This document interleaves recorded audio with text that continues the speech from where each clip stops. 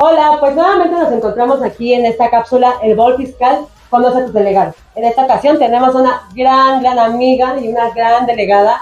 Ella es del Estado de México y nos acompaña hoy la licenciada Lucía Juárez Mejía.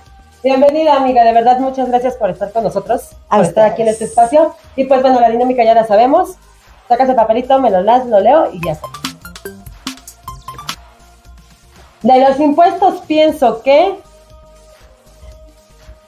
Son una maravilla. Eh, de repente todo el mundo ha dicho, ¿a quién le gusta pagar impuestos? Pues debiera gustarnos a todos porque a partir de eso generamos la infraestructura justamente para tener servicios públicos. Sin impuestos no habría banquetas, no habría alumbrado, no habría drenajes, no habría servidores públicos, no habría gobierno en sí mismo que pudiera funcionar justamente para que pudiera haber una estructura social. ¿no? Qué buena respuesta, la verdad, ¿eh? me encantó. ¿Podrías crear una ley fiscal ficticia por un día? ¿Cuál sería y por qué? Sí, cómo no, claro.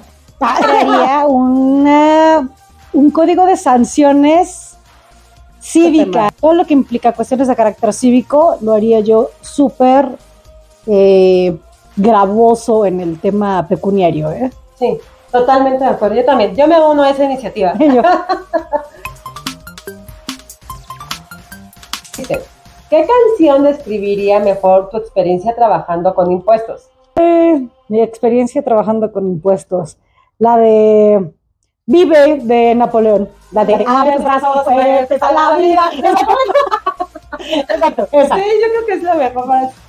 Perfecto. Pues son todas las preguntas. No sé si quieras decir algo al, al público, a los que nos al están público, viendo. acérquense a la Prodecon, es una institución maravillosa, está llena de calidez y de calidad humana, es una institución dirigida por una persona maravillosa, es un gran ser humano que implica que esa estructura traslade a toda la gente de las delegaciones una calidez y una calidad que implica que los impuestos se hagan menos fríos de repente y que la parte complicada de, la, de la tributación sea mucho más eficiente.